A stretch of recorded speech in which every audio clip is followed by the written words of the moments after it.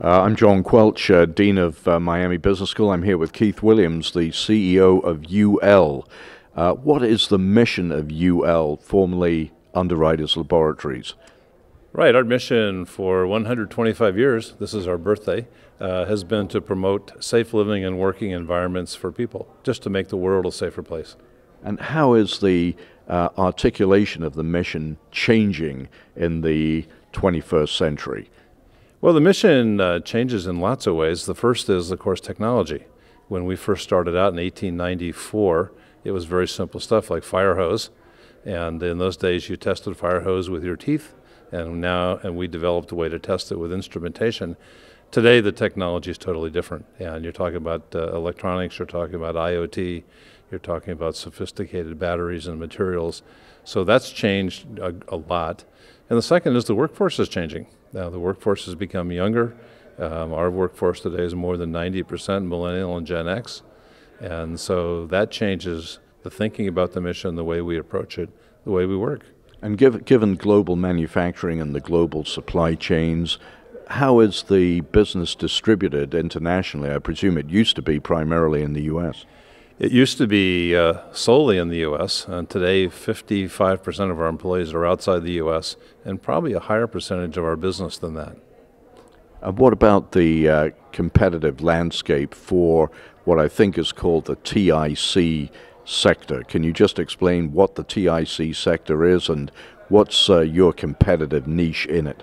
Oh, so TIC is testing, inspection, and certification it's basically a European industry. Uh, we have UL in the U.S., CSA in Canada, but the rest of the companies would be European. Bureau Veritas in France, SGS in Switzerland, uh, the TÜVs to run into Sud in Germany, Intertek in the UK, DEKRA in Germany, uh, Eurofins in Belgium. So it's mostly European industry and then UL and a smaller CSA. So would it be fair to say that most of your customers then are American manufacturers? Uh, no, a lot of our business comes from European manufacturers who want to access the U.S. market. A lot of it comes from Asian manufacturers who want to access the U.S. market, and so it's really a global manufacturing base.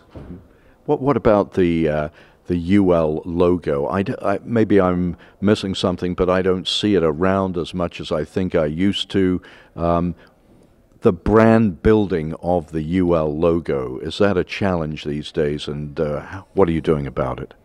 Well, you know, the good news is that we've been very successful. So if you look at the death from fire in, Amer- in America, it's gone down by 90% in the last 100 years. And uh, today, when people go to, into a store and buy a product, they assume it's safe, and for, the, for a large part, it is. So maybe we're victims of our own success in that regard. Having said that, uh, our business is growing. Um, we issue some 22 billion marks a year.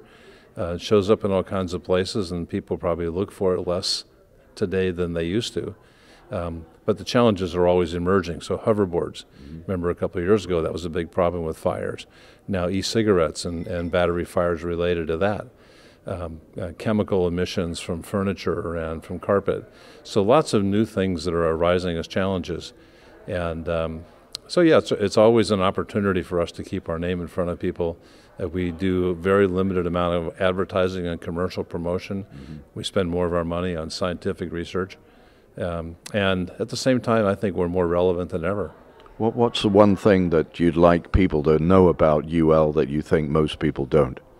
I think the one thing I'd really like them to know is that uh, we are keeping the world safe for you and uh, so that your house doesn't burn down, you don't get shocked by appliances, that uh, you, you, won't have a problem uh, on the mode of transportation that you're taking today or tomorrow, and that we're helping to make the world more sustainable, more green, more carbon friendly, and uh, things that go way beyond uh, hair dryers. Right. Terrific. Good. Thanks so much, Keith, and good luck. Appreciate it. Thank you.